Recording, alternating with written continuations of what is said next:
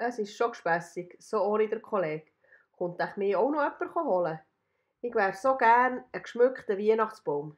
Immerhin bin ich nicht ganz alleine, weil ja der Schneemann noch da ist.